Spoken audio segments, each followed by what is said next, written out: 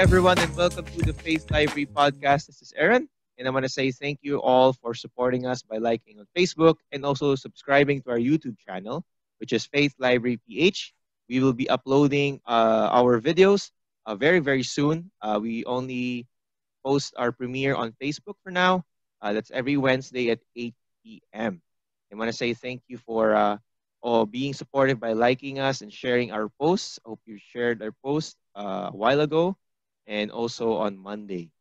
For tonight, we will be having a wonderful guest. Uh, but, before that, uh, you can watch our last episode with Joel Sedekase about God, evil, and suffering. And Joel Sedekase is part of the Think Institute, and may, you can also check them out on Facebook. And tonight we'll be having a wonderful guest and a wonderful topic, which is the Westminster Confession of Faith. And before we start, I will just give uh, credentials to our guest. He's born in Melbourne. Dr. Rowland Ward was in the business world for 10 years, laterally as a senior account executive with Marsh, the international insurance brokers. He studied for the ministry at the Free Church of Scotland College, now Edinburgh Theological Seminary, from 1972 and 1975, and has served as a parish minister for 40 years with the Presbyterian Church of Eastern Australia, which is a small, strict subscription denomination, mostly in Melbourne, until retirement in 1996. He continues to preach most weeks in his research and church history lecture at the Presbyterian Theological College in Melbourne. He is married to Anna and they have five adult children and nine grandchildren. Let us all welcome Dr. Reverend Dr. Rowland Ward. Welcome to the show, Reverend. Well, I'm glad to be with you. I might have given you the wrong information. I retired in 2012, oh. not 1996. I still retired then, but I retired in 2012 so I could help out without having to take a pay. So, uh, and to do other things. yes, I'm pleased to be with you today. Hello, Reverend. So, yeah, it's I retired in 2012. now the information is good. Now, uh, Reverend Rowland Ward, uh, since uh, your introduction is uh, is self-explanatory, uh, uh, I just want to ask, how's the situation there in Australia? How are you in Melbourne and everything? What's going on? Well, Melbourne's the capital of the state of Victoria, which has about 25% of the population of Australia. Total population of Australia is 25 million. Um, but we are in serious lockdown, much more so than the other states. Unfortunately, some mistakes were made, and one way or another, we had an outbreaking of the uh, coronavirus quite seriously from some of the um, quarantine places that uh, overseas returnees had gone to for their two weeks quarantine, and and the people looking after them. Unfortunately, it led to um, the escape of this into the general community, and it's really affected mainly the uh, aged care sector and people who are looking after aged care people. So it's quite serious. We're in very much a very tight lockdown compared to other states where they're pretty well able to open up as churches and now in most places, but we can't. Uh, and um, we haven't been able to for well, pretty well since March. So we are doing um, live stream and Zoom meetings, fellowship meetings, and Sunday school, and so on. Uh, it's not the same, of course, as being together, as you understand that. But, but so we are in a serious uh, lockdown. If you're thinking in terms of the theological complexion of Australia, uh, it's more challenging. Um, we don't have that many reformed uh, denominations. Uh, the Sydney Anglicans are at least four point Calvinists, and uh, the Presbyterian Church of Australia uh, which 40 years ago um, lost many of its more liberal people into the uh, Uniting Church, which was formed then with the Methodists. Um, the Presbyterian Church of Australia is much more reformed, and their college here in Melbourne, for example, is is quite reformed, and uh, that's where I teach uh, or supervise students, uh, PhD students. Um, and our own little denomination is very small, but we've had our little influence anyway. Um, so uh, we, we have a lot of spiritual need here. Reformed Baptists have not done so well in the past. I think there seems to be a resurgence of good quality uh, theological understanding. Hopefully, that will work out also with a good relationship between the congregations, which is in the past has not worked terribly well. Um, uh, but I think there's a new day here, and let's hope it uh, prospers. praise God. Uh, we'll be continued to praying in your church, uh, especially for you, Reverend, as you uh, minister to your church and as well uh, in your fellowship and also in your worship services. So we'll be praying for that, uh, Reverend. Thank you. Uh, and despite also the denominations you know, and also Rev, uh, Reformed Baptist, uh, my guest in uh, one of our episodes is Joshua Gurango from Christ Covenant Church in Australia and you've been one of their speakers and you've thought about the eldership. So I just want to ask, how's the experience of a, a Reformed Presbyterian preaching in a Reformed Baptist church? well, I suppose I would preach for the Pope if I was asked. uh, so long as I had freedom uh, to preach the Word of God, uh, then I don't mind where I preach. But um, I've got on very well with Josh and um, he does his live stream from our church building and, and the Lord's Day afternoons, and we've had a good relationship. And um, it's a pleasure to work with other Christians, even though we have differences on some matters. Uh, not everything in Scripture is equally important. Everything God reveals to us is important, but not equally important. And um, obviously, if you were trying to evangelize someone, you probably wouldn't start with Leviticus, um, but Leviticus is important. Um, there are matters of first importance, Paul tells us in 1 Corinthians 15. that Christ uh, died for our sins according to the scriptures, was buried. I hope you've heard a sermon on the burial, it's important.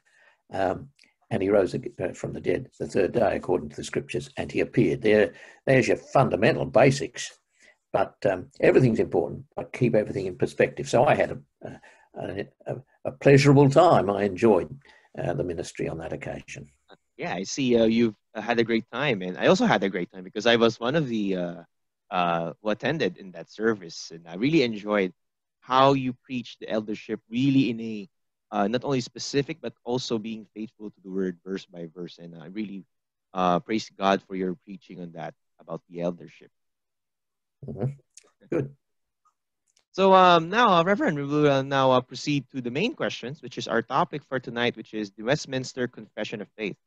And I believe that uh, Presbyterians hold dearly to this confession. And I was also inspired by this by Reverend James Briner Chu. If you're watching, hello. uh, he inspired me and he uh, motivated me to uh, challenge, also challenged me to read and also review uh, the Westminster Confession of Faith. So here is the first question, Reverend. Uh, when was the Westminster Confession of Faith written, and what was the situation in that time? Well, the Westminster Confession is one of the major productions of the Westminster Assembly of Divines. That's the old word for theologians. So, this Westminster Assembly, so called because it met at Westminster in London, um, was called um, and began its work in 1643. And it continued its work actually until 1653, although its key work of producing documents that are associated with it begins in 1643 and ends in 1648. So that's the key period. And uh, uh, the key documents were, were a directory for public worship. Uh, then there was uh, a, um, a, similar sort of a guide uh, for the government of the church. And then came the Westminster Confession. And following that, the shorter and larger catechisms. So the Westminster Confession, to answer your question strictly, was um, written in 1646, concluded really at the end of 1646, although there were various um, hindrances to its final um, publication because the Parliament wanted scripture texts that illustrated um, the doctrine stated to be added, and they, they were added. So 1646, 1647 is the Westminster Confession. Um, and the Westminster Confession is, is, of course, very important. Presbyterians do, in fact, um, pay some attention to it. Even the liberal denominations still know what it is, but usually they are not taking it seriously. Um, it's historic for them and uh, interesting, no doubt. But um, for conservative denominations that take this, they do take it seriously. And in my own denomination, we hold to the whole teaching of the Westminster Confession, uh, with one or two small ex, uh, explanations which were made actually at the time it was adopted in Scotland in 1647 because they did say well, it was one or two things we need to clarify, and they did that. Um, so we take it very seriously. Well, what were the circumstances of producing this uh, famous document? Uh, well, it might surprise uh, your hearers to realize that it was produced during wartime, because in fact, that was the situation. Um, the church, you have to remember too that England and Scotland and Ireland were separate kingdoms at this time. Um, they actually had the same monarch, uh, but they were actually separate kingdoms. And of course, the King of England in the 16th century, Henry VIII, uh, had a problem because he wanted uh, someone who would be his heir, who would succeed him as king, but he only had daughters. Uh, the first one was Mary, and the second one was, um, dear me, I've just forgot, Elizabeth. And uh, then, after a few divorces and things like this, uh, he got a son who became Edward VI. Now, Henry broke with Rome because he couldn't get the divorce from the king, uh, from the Pope at least, who normally would readily do this, but there were complications for the Pope because of other relationships. So Henry VIII broke with the uh, with the Pope, but he still remained a Catholic. But this was a time in the 1530s uh, when Re- uh, Reformation teaching was coming in, and so um, with people like Archbishop Cranmer, um, who was uh, interested in reform and moving along that way, and so on, and then with the death of Henry. Uh, Edward was only nine years of age, but he became the monarch, and he was a godly little man, little prince. And though he didn't last long on the throne because he died um, about what eight or ten years later, um, he, along with Cranmer, moved along the Reformation principles. But then, when he died, who was going to take over? It was, in fact, Mary, the uh, the oldest child. Um, Henry, of course, didn't want a woman to succeed because a woman would need to marry, and she might marry someone who lived on, in Europe, and then that whoever she married would probably then take over and start ruling in England, and he didn't like that idea. So anyway, Mary takes over, and she is a persecutor. She's Roman Catholic, and she's a persecutor. Uh, but she and she dies, and Elizabeth takes over. This is Elizabeth First, and this is uh, and she continues the reform uh, she continues to maintain the reform movement opposed to Catholicism, but she will not do all that everyone in the community, uh, a lot of people wanted. Uh, she didn't want to go the Puritan way. She wanted to sort of stop. And that's why the church in England, whilst it was reformed in its doctrine, um, and through the 39 articles of religion, well, it was actually a few more than that originally, 41, uh, it was reformed in its doctrine, but it didn't reform its government, and it kept bishops and all the paraphernalia associated with that. So Elizabeth dies, and who's going to succeed? Well, it actually was a man who was already King of Scotland, uh, James VI of Scotland. He becomes James I of England. This is complicated, isn't it? Uh, and he was a, quite a scholarly man. He didn't really like the Puritans too much. Uh, he, he, didn't like Presbyterianism too much because it was a bit of a problem controlling Presbyterian assemblies. It was easy to control a few bishops, the appointment of a few bishops and an archbishop through those few people you can control the church, and he, that's what he wanted to do. But he was reasonably sensible. Uh, but he died in 1625, uh, and Charles I became king. And Charles was a, a very foolish uh, sort of king, uh, and uh, uh, concerns about Catholicism were coming back in here. He was very unwise in the way he handled things. Um, he appointed uh, an Archbishop of Canterbury called William Laud, L A U D, who was basically sort of uh, not really sympathetic to uh, reform teaching, more Arminian, and he had this idea you had to have absolute agreement in liturgy, everything had to be done exactly according to the book, and he laid down the law in that. Then he tried to do the same in Scotland, and the Scots, uh, who were Presbyterian and had been since 1560, uh, they didn't like this at all. And so in 1638, there was a big uproar, and that led to um, a lot of problems. There were wars, uh, a number of wars. We just generally call it the English Civil War, but there are a number of wars connected with this because the king in England, Charles, who's also king of, of Scotland, he tries to impose on the Scottish church through Arch, the archbishop his idea of running the church through a few bishops. And this led to great concern. Also in England, uh, the Puritans have become much more uh, influential. The Parliament is, is dominated, uh, the lower house of Commons is dominated by Puritans, mainly at this point Presbyterians, but in increasingly, um, as the 1640s goes on, it becomes more independence. Uh, that is, people who were reformed, but they thought each congregation was sufficient in itself and they didn't want any overarching control beyond the congregation. So it's in this kind of situation that uh, the, the church in England is in a mess. Its worship is all over the place. Uh, its government is broken down and everything's in disarray. And uh, the king uh, needs money uh, to pay pay the Scots because of one of these wars. He goes to Parliament because he's run out of money, and the Parliament refuses to give him the money um, unless, and I'm simplifying here, unless he agrees to uh, bring about reform in the church in England. And so the Westminster Assembly arises because of this.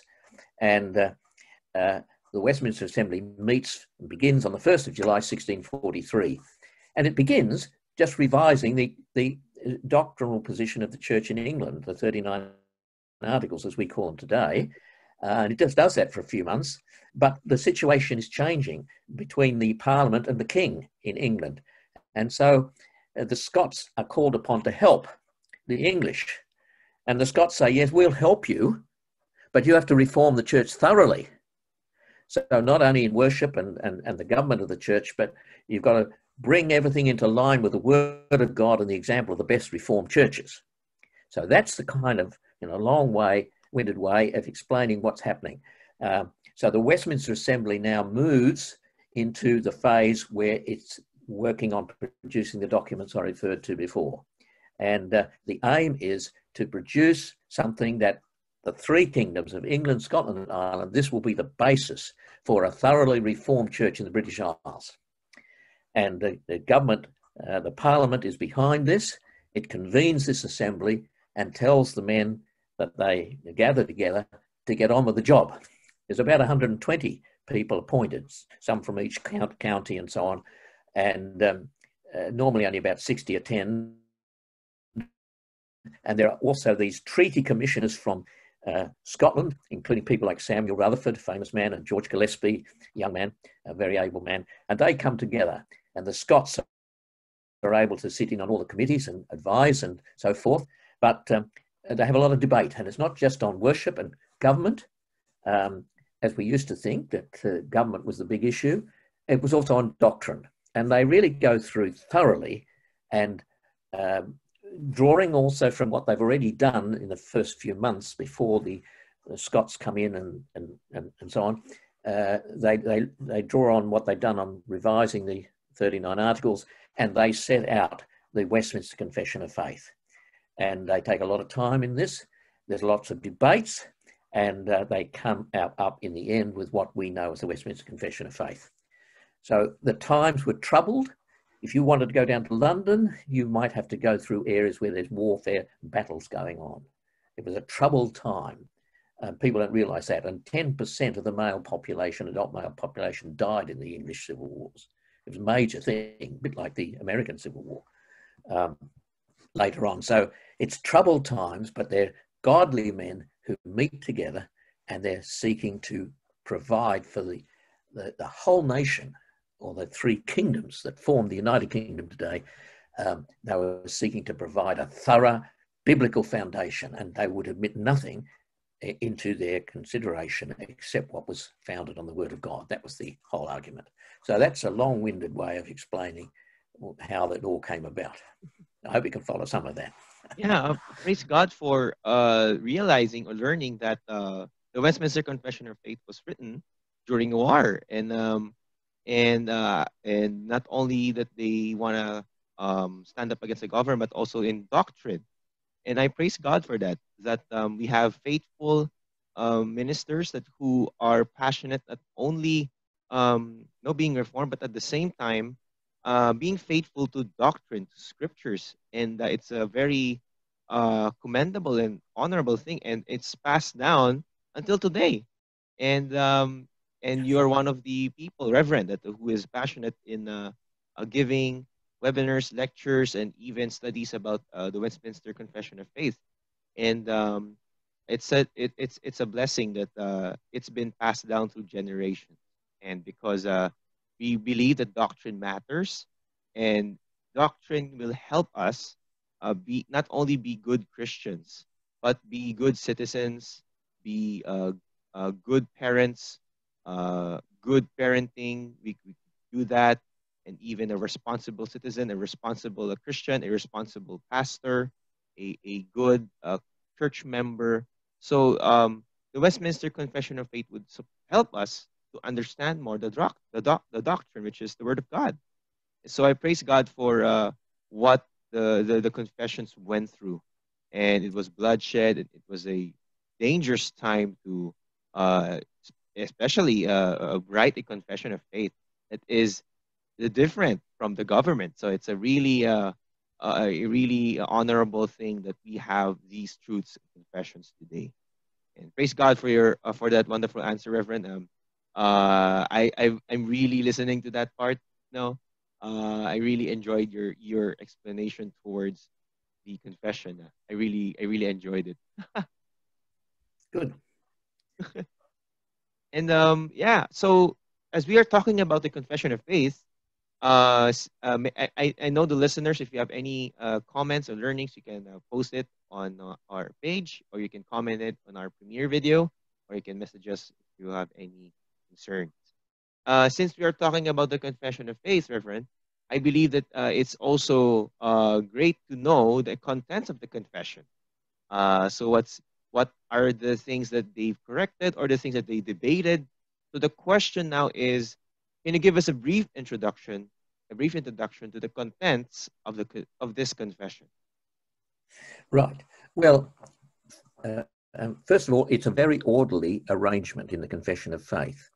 If you look at, say, the Scots Confession of 1560, it's not such. Uh, it, it, that was also in a time of conflict produced, but um, it's not as orderly and carefully arranged. It doesn't have the same level of technical precision that you find in the Westminster Confession. Um, but the Westminster Confession aims to set out really um, the whole range of um, important uh, uh, truths. It doesn't cover every detail of Scripture. It doesn't give you an exposition of the Ten Commandments, for example. You'll find that, particularly in the larger catechism, a very valuable um, catechism, often neglected. Um, it doesn't go into um, a great deal of detail either about the church. There is a section on synods and councils, but um, that was in the form of church government that they produced. Um, so it concentrates on the great um, spiritual truths, the biblical truths. It starts off with the Bible. Now, not all confessions before this time did that.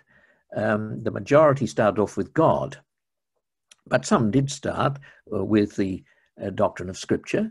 And sometimes people make a big issue about this and say, oh, well, you know, you should start with God. Well, the point is, how do you know saving truths about God? How do you really know who God is? And so the Westminster Confession begins with Scripture. Um, and then it moves on to look at, um, at, at, God and, and, and also when it looks at that subject of God, it talks about who God is, but then it, it talks about in the second paragraph in that chapter, it talks about God as triune. Amen. And of course, in a sense, you have to establish the unity of God or the, the, the oneness of God before you start talking in terms of the Trinity. And again, people quibble sometimes and say, oh, well, you know, we should start off in another way. But there's logic in the way they do this. And they set this out. So basically, God and after Scripture, it's God and His purposes that follow next, not man and his needs, but God and His purposes. So you, you read about God's eternal plan, you read about uh, creation and providence, um, you read about um, how sin arises in the human race. You read about God's covenant, uh, and you deal with um, Christ as the mediator, in the wonderful eighth chapter of the Confession. So these are, are the main uh, uh, issues that are dealt with first of all. But then you have to talk about uh, having spoken about God and the provision of redemption in Christ and God's purpose and so forth. You've got to speak about how this uh, redemption that Christ has purchased, uh, how that actually works out. Um, and so there's a chapter, an important chapter on human freedom, uh, because we are free. God has ordained that we act freely. Amen. Um, and, uh, uh, you know, there's a, there's a story I, I, I, think I was reading the other day, or mentioned the other day in a sermon I was preaching. Uh, if you want to know what God has determined, um, has God determined that I should talk to you? Well, I should just talk to you because I'm acting freely. God has ordained that. He didn't make me do it, I did it uh, because God ordains that I act freely, um, but He is also in charge and, and, and, and uh, He knows all things as well. And the two things are not in conflict. Now, of course, when it comes, confession reminds us that we've lost the freedom to act contrary to our nature. Or we never really had, uh, well, let me rephrase that. The point is, we have freedom, but does that mean that I can now do something that is truly good in the eyes of God? And the answer to that, of course, is no, because I have a corrupt nature. Um, and it's out of that corrupt nature that the things I do uh, partake of that character. I mean, you get fruit from, uh, uh, you, you get oranges from an orange tree, um, uh, but from a sinful heart, you only get sinful things, wrongly motivated. They may be in form, look good, but in fact they're not motivated correctly and so on. So we don't have freedom to act contrary to our nature. And so, um, so God's grace is therefore a divine rescue operation. And the confession moves from this area of human freedom, where it talks about the different freedoms at different points, and in fact reminds us of the perfect freedom in glory uh, from which we can't fall. And it moves on to the nature of grace. And the grace is the uh, working of God in his loving purpose to uh, transform and renew. So you've got the whole idea of regeneration, justification through faith, uh, adoption, uh, a very important little section in the confession. It's, one of the, it's about the only confession that deals with adoption. It's only a paragraph. It's great. And some of the theologians in the southern states of America have perhaps given more attention to this than most have. There's some good work has been done on that in the 19th century and, and, and more recently too. So you've got sanctification as well, which is very important because at the time of the confession, there were lots of people who said if you're saved by grace through faith, well, it doesn't really matter how you live. God's justified you. You can you can be casual on that sort of thing. And that was a big issue at the time of the Westminster Assembly not only was Catholicism an issue, but antinomianism, that is, uh, a, a, disregard of the law of God for the believer. Mm. And so they're very careful in handling that.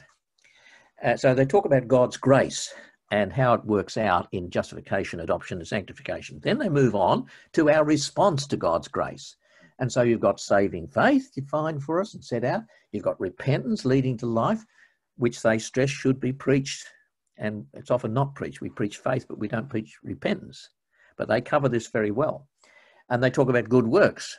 Of course, we believe in good works, but it can't put the cart before the horse. Mm-hmm. And good works flow out of a new relationship. Uh, they don't. Uh, uh, they don't bring about that relationship. Mm. So the new relationship established uh, through faith, being brought into God's family as His dear children, then this new life that's been given to us issues in good works. Hmm. And also, we see the perseverance of the saints. They keep on keeping on. And then the question of assurance is dealt with, yeah. uh, a big problem for many people. Assurance is not so of the essence of faith that uh, you have to always be assured. Uh, they are very careful about this. Uh, uh, I think probably Calvin thought assurance was of the essence of faith uh, virtually, almost in reaction to the Roman view that you couldn't really be sure of anything, you just had to trust the church. Um, the, the thing is that it's not so of the essence of faith. You can go through times of difficulty and, and, and, and uh, lack of assurance, but uh, they say some other things about how God sustains and keeps his people and so on. So there's your great uh, soteriological kind of emphasis there uh, in the those sections, and I've gone through them in the order in which they in the confession. But then you get some practical things about the Christian life. What about uh, the law of God? What about Christian liberty? Uh, what about religious worship and the Sabbath day? Um, what about is it lawful to take oaths in a court of law and vows? What about civil government? What about marriage and divorce? Now, some of those things you might think, well, should they be in a confession of faith? Um, you really have to worry about whether you can marry your, uh, marriage and divorce. Is, uh, do you have to put it in there? Um, well, you could leave some of these things out, perhaps, but on the other hand, they give you a rounded out view of what the Christian life requires of us. Then you've got a section on the church, but it's not a detailed section. It doesn't talk in terms of uh, Baptist theology of, uh, of the church or independent theology of the church, even the Presbyterian theology of the church and the structure of the church. It talks about um, the church, and you can view the church um, as God sees it or as man sees it. But it talks about the importance of the church and that ordinarily there's no salvation outside the church. That's again something neglected uh, in modern evangelical thought. The church doesn't really matter. I can stay at home, I'll be right, and so on. Well, no, don't forsake the gathering of yourself together. There's a structure for the church. There are elders you're to be submissive to in the Lord, and so on. Um, so they make a fair bit about that. They talk about the importance of the communion of saints, that's fellowship with other believers as God enables you. They talks about the sacraments of baptism and the Lord's Supper, and it talks about uh, church discipline, and it talks about synods and councils, but only in a general way. So, and then finally, and perhaps it shouldn't be finally, but that's how they've structured it, and it's typical of confessions of this period. There's the Christian hope, and there the emphasis falls on the state of the dead and the resurrection, and the last judgment and the eternal state um, uh, concludes the confession. So you can see it's a comprehensive, well laid out, well thought through, well debated. Everything is debated. Um, we don't actually have a record of all the debates, um, but it's quite clear that the large part, I think at least a quarter, maybe more than that, I think it's more than that, just can't remember the figure, of the percentage of the uh, discussion at the, at the Westminster Assembly is on theology. Mm. To get it right, to provide something that will last and endure. And at the same time as they're doing this, remember the confession is a consensus document. It's not going into all the bypaths, all the nice, interesting little bits that the theologians like to debate about when they're having coffee midweek. Uh, it's giving you the great, uh, it's giving you the highway on which we can come together and work together. Uh, and that should be remembered. Um, there's some flexibility, if you like, or there's some matters that uh, people, you know, they don't introduce every possibility and uh, of, of view. Um, they will come try and come to agreement uh, on a consensus, and sometimes they deliberately framed it so each one can have their own sense, where there's some area where legitimate reform people can disagree, and that's important to recognise. Far too many people don't. Well, that's a that's the survey. What's in it? Praise God for the answer, Reverend. Um, yeah, I really enjoy what you what you've uh, explained uh, about the contents of the confession and uh, the the holistic view of the confession that uh, we that uh, as Christians, uh, the Westminster Confession of Faith again serves as a guide for us, also not only to interpret doctrine if we cannot understand, but also Christian living. Of how can we be uh, Christians that are that is faithful to the Word of God and to the Lord's command.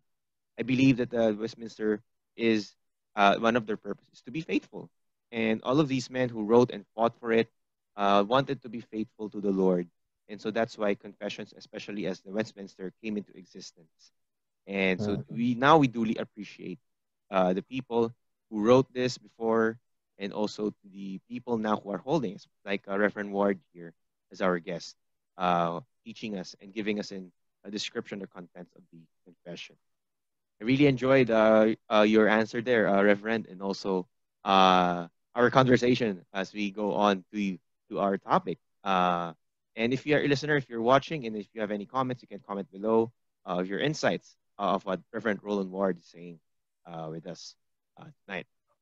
I believe, uh, Reverend, this is a short uh, answer. I think you can give us a short answer. This third question, which is, what distinguishes the Westminster Confession of Faith from the previous and or other confessions that arose? Uh, actually, last time I had Josh uh, spoke about the London Baptist Confession of Faith, and he said one of the, uh, some of his answers about this uh, the distinct the distinguishes from others. So, how does the Westminster Confession Confession of Faith distinguish uh, from other uh, confessions that arose, previous or latter? Well, I suppose you could look at this in a number of ways. Um, the Westminster Confession actually owes a great deal to Archbishop uh, James Ussher, uh, who was the Archbishop of Armagh in Ireland. He was Calvinistic, he was a moderate Episcopalian, but he was also a royalist. He was uh, nominated to the assembly, but he never attended because of his um, uh, royalist sympathies, and the king wasn't in favour, you see, of the Westminster Assembly. So he didn't attend, but he had a great influence. Uh, and he had in 1615 uh, issued what are called the Irish Articles, and they are very influential in the um, formation of the Westminster Confession. So there's, uh, it's not as if you've got an absolute breach uh, with the past. Um, there are many good confessions. Um, the advantage, I think, is that there is real technical pre- precision in this uh, in the Westminster Confession. Um, for example, the Belgic Confession is basically the production of, of one man, um, and uh, it's a great confession. But things had de- developed somewhat. In 1517, say, if you say the Reformation began then, which is a bit artificial, but we'll say that, um, then you've got in the 1560s you've got a number of, famous confessions written, like the Scots Confession and the Belgic Confession, and, and of course you've got catechisms as well, um, like the Heidelberg Catechism and, and so on. Now, there is nevertheless development. People are starting to think through this. Remember, this is a time of great difficulty for the church. Um, there's persecution on the part of the uh, authorities, um, particularly the Catholic authorities, against the reforming movement and so on. But as things settle down somewhat, and, and as um, more and more people are thinking through these issues, because remember, it's not Calvin who invents the Reformed faith. He's a great exponent of, of Presbyterianism and of the Reformed faith, no doubt. But there are lots of people working away here. And uh, in fact, in the Westminster Assembly, Calvin is not the most quoted person. I think Beza is, and then Augustine, something like that. But at any rate, um, you think through things. Now, towards the end of the 16th century, we'll say in the 1580s, people are starting to think through theologically some of the scriptures and the implications of them. So, the big distinctive, I'd say, about the Westminster Confession is that it comes to a much more developed view of the original relationship of man, God and man in terms of covenant theology. And so it's, it's really quite distinctive. Uh, a guy called Robert Rollock in the 1590s is very um, influential in this. Uh, but it becomes a general kind of approach. Instead of thinking of sin being transmitted um, uh, sort of almost, uh, sh- shall we say, by ordinary uh, generation, there's the idea of the imputation of Adam's sin to uh, his posterity that comes much more to the fore. And so you find in the Westminster Confession, which you don't find in, in say, the Belgian Confession in the same way. It's it's sort of there, but it's not developed in the way it is in the Westminster Confession. So you've got very clearly um, the distinctive emphasis on covenant theology as an organizing principle uh, for the biblical material. Um, even then, of course, it's not that everything is fully worked out. Um, Reformed uh, covenant theology was really still being worked through, and there are in the Westminster Standards themselves there are uh, there's scope for difference of viewpoint on certain issues. Uh, for example, the covenant of redemption is distinct from a covenant made with Christ, and so on. Uh, there are uh, are areas there where they don't definitively lay down the law. They talk about the first covenant with man.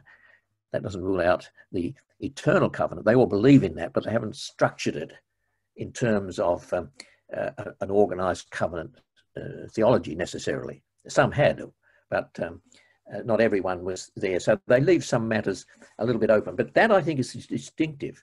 And you see that carried through in the Savoy uh, Declaration of Faith and Order in 1658 by the independents like John Owen and so on. And they make some small um, uh, adjustments. Some might even say they're improvements, um, uh, but they, they are um, a bit more specific in one or two of these areas. And this, the same feature is found in the London Confession of 1677 and also the more formal one in um, 1689, the same thing really. Um, so that it's it, it, even among those with quite different views of the nature of the church uh, and the membership of the church, uh, you've got a unity here, which is very, very striking. And of course, um, well, you understand this, but uh, there's, there's a great deal of agreement between these confessions. Um, but there are also some distinctive differences, and they're not unimportant differences. Some people make them too important. Um, some may not make them important enough, but but um, that's the big distinctive, and that's the great contribution. So even in the, you, will see that covenant theology has a future and, and has a continuing emphasis down the years, whereas in, say, the Dutch churches who hadn't got the same development and, and grasp of covenant theology, even though their great theologians did, it wasn't in the confessions, and so it slipped away and, uh, and was lost, really, uh, for a considerable amount of time. So that, that's what I'd say is the great contribution of the Westminster Assembly, technical proficiency, um, but also a, a, covenant structure. Wow. Uh, praise God uh, for, for that. Um, I believe um, the Westminster Confession of Faith serves an inspiration to other confessions uh, in the latter, which is one of those is the London Baptist Confession of Faith and other uh, confessions that arose because of the what you've said, uh, Reverend, the the uh, the accuracy, the the structure, uh, the everything in the content. Because uh, if you look at the listeners, the Westminster Confession of Faith is a holistic kind of a document, as what Reverend Rowland Ward uh, gave gave us the second question, the contents. Uh, it serves as a big, big chunk of document that we can reflect and also we can look upon to, to confess as a church and even as an individual in your homes or even in your families. Uh, these mm-hmm. the, the, confession led to the catechisms and led to other uh, successful, uh, by God's grace, successful uh, church plants. And we've seen uh, churches now in the Presbyterian community that they are faithful to the Word of God. They are utmost uh, of respect and of the elders and the reverend and even our professors. the Presbyterian community serves as a I, I, commend the, uh, the Presbyterian community because they have a high uh, amount of respect in terms of structure. Uh, that uh, they they they uh, they call people not uh, not just by simply picking them because they have a potential, but they also been tested. And I believe Reverend Ward, if if I can emphasize the presbytery or the eldership and also the documents of the Confession of Faith, I would remember First Timothy, uh, the the Timothy scriptures, because it always emphasizes the eldership, just like we, we preached when I was there, and also the qualifications of an elder and a deacon. And uh, when I when I hear these verses, I always remember the, the Westminster, the Westminster. So it serves as a reminder for me that uh, uh, the Westminster is also inspired is inspired by the Word of God that uh, they just wanted to be faithful uh, to the people in that community to, to learn more about God through these confessions. And through that, we can confess together as a church. You have anything to say, Reverend? Yes, I, I just make this point. Um, just because the confession is so great as the high watermark, as is often said, of uh, confession writing, uh, creates a danger for us but, that we can give it a place uh, higher than it ought to have. Now, it's important, and, and without going into the whole history of subscribing to the confession, it's important to remember that we subscribe to the teaching, not to the words necessarily. Now, don't get me wrong. There are some parts of the confession, some places in the confession where you'd say, oh, I'd, I'd express that a little bit differently.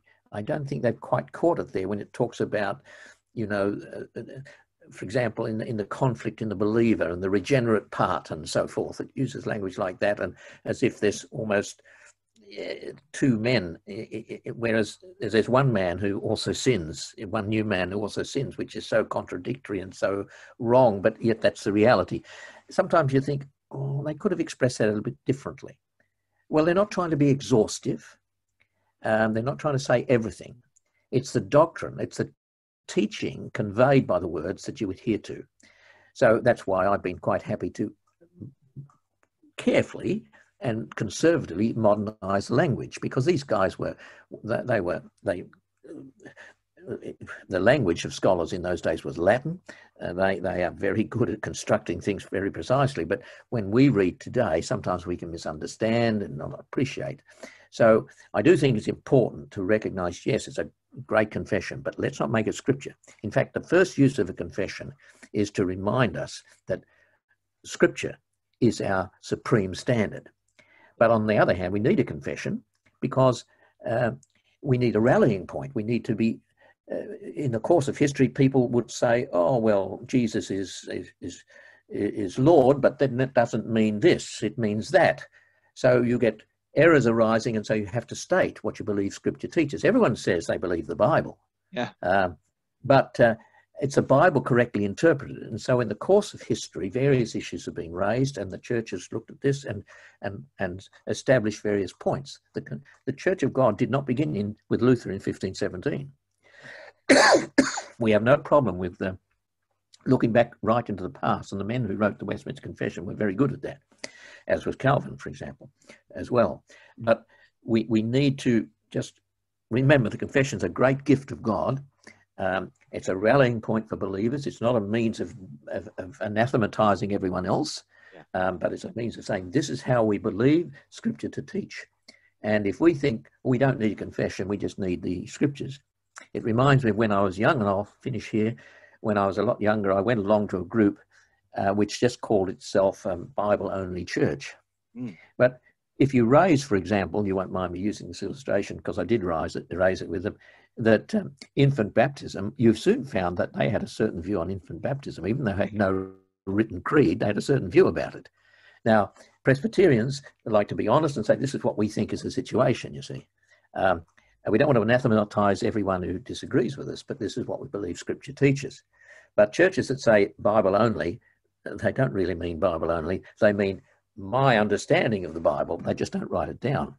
Uh, uh, or, or, and they don't try and blind you with, with this, the Bible only. So if the Bible correctly interpreted, absolutely important to get hold of that. But the confession is not scripture, um, but it is a faithful uh, endeavor to faithfully represent scripture truth. Thank you for elaborating to us, uh, Reverend War, because, uh, well, um, we can be passionate uh, in studying the Westminster. We forget the main source, which is the Word of God, the Bible. The, the, the, the, Word of God that transformed us, the Bible that renewed our minds, the Bible that uh, uh, gave us the gospel. So, listeners, uh, uh, the Westminster Confession of Faith and other confessions are really great, but they are all inspired by the Word of God. So, the, the main source still is the Word of God. So, uh, let's not I, we pray that the, the Westminster will not be a substitute for you not to look to Scripture. And looking by, by looking Scripture, you can also uh, see if the, the confessions are true, if the confessions are faithful to what the Word of God says. So it's a it's a challenge for all of us to uh, read His Word because uh, that's that's the, coming out from the mouth of God, inspired and passed down to His uh, to the writers of the Scripture and I really appreciate. Just uh, one, yeah. yeah. Just one thing that just comes sure. to mind is certainly in our tradition, the Presbyterian tradition, we don't. We have there have been cases where it's been done, of course, but we don't generally impose the uh, or require ordinary members to subscribe the confession. Um, the admission into the Church of God uh, does not require you to um, sort of go to, go to university, as it were. Uh, uh, faith in, in Christ um, a, a, some basic understanding of the scriptures and faith in Christ and a life that uh, appears uh, consistent with that, that's the basis on which we in Presbyterian circles admit people to membership. But we do require the office bearers to subscribe the confession. Um, as a means of ensuring that the form of sound words is adhered to, that scripture is adhered to. So we don't impose it. And um, I've had Baptists in my congregation, which shows you how generous I am. no, seriously, um, it's important to recognise that we're all in the school of Christ, and some maybe are in the in the first grade, uh, but the Lord loves them, and the Lord has drawn them to Himself, and uh, we are not to reject them. Uh, that's how I see it, anyway. Praise God. Uh, yeah, Amen to the. We are all schools uh, in Christ. That uh, I believe. I think John Piper would say that no one is a graduate of the gospel. So every one of us are are in in in the student or in the school of Thank you so much, Reverend Ward, for sharing your time with us. It's an honor and a, and a pleasure to have you on our show. I hope that we can do this more often, especially uh, uh, talking about the catechisms and the eldership. I, I, plan to do that one soon, and I hope that we can uh, have you uh, uh, in the future shows, and uh, we can set a, a wonderful time for that. so the last question will be, Reverend, is what is your advice or encouragement to the listeners on why confessions matter particularly the Westminster Confession of Faith? Well, probably already covered that actually in um, in the last things that I was saying. Um, a confession, you you have to have a a doctrinal basis for a church. Everyone has a doctrinal basis. Uh, what kind of basis have you got? One that um, some uh, individual has um, produced. It may be good, of course, but it's better if it's been done by a group of people. Um, so in the meeting of minds, you can um, make sure you don't get give a wrong emphasis. It's very easy for people, especially in small groups, to um, exaggerate differences and make them too important. Um, when you've got a good number of people gathering together, you're more likely to avoid that. Um, the confession's very important in, in a day when uh, so much emphasis is placed on, on the individual and how they feel. That's all very well, but it's what God has done. The gospel's not about how I feel. The gospel's about what God has done in Jesus Christ. And unless you get that clear, um, you, are going to have trouble. Um, you probably have trouble anyway, as we see in the New Testament church, because of, of the sin of men and how even the clearest things can be perverted. But uh, you can't really get anything better uh, in many ways than the Westminster Confession. I'm not wanting to say it can never be superseded or something. It's really just the doctrines there. It's it's first of all it's it's Catholic in the best sense. It's Trinitarian. Um, it's Protestant in an emphasis on on the Word of God as the source of our teaching, not uh, unwritten traditions and and so forth, as Rome uh, does. It's uh, Calvinistic as well in its soteriology. Uh, and that's right that it should have that. You're never going to be able to change those sort of things.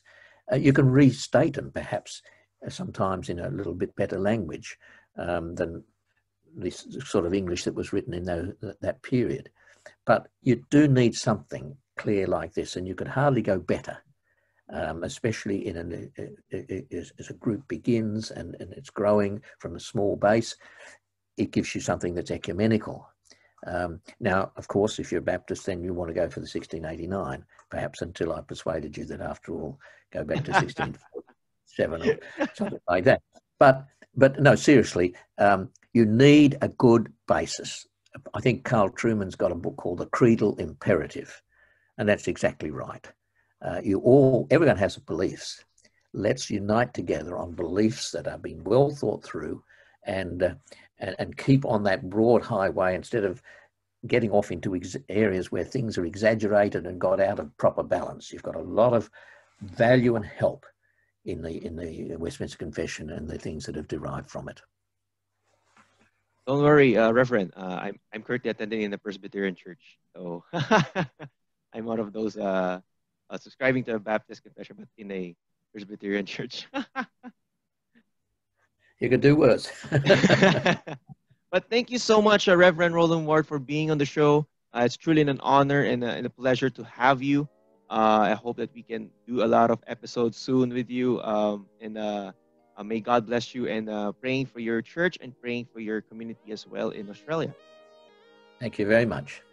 God bless. Stay, stay tuned for more episodes. We will be having next week. We will be having Pastor Franco Ferrer uh, a, a founder of the I Disciple Philippines, and we will be talking about discipleship in a pandemic. Stay tuned for more episodes of the Faith Library, and you can also watch us on Facebook and also on YouTube. Subscribe to our channel. It is Faith Library PH, and we will upload the videos from Joshua Gurango, from Pastor Conley Owens, Joel Sedekes, and tonight with Reverend Dr. Rowland Ward. Stay tuned for more episodes. See you all, and God bless. God bless.